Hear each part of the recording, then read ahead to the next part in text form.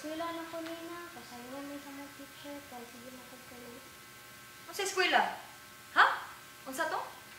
Uswas itong mga nilabhan dito. Di ba kayo naman tika sayo og tulog para sayo pod mo mata?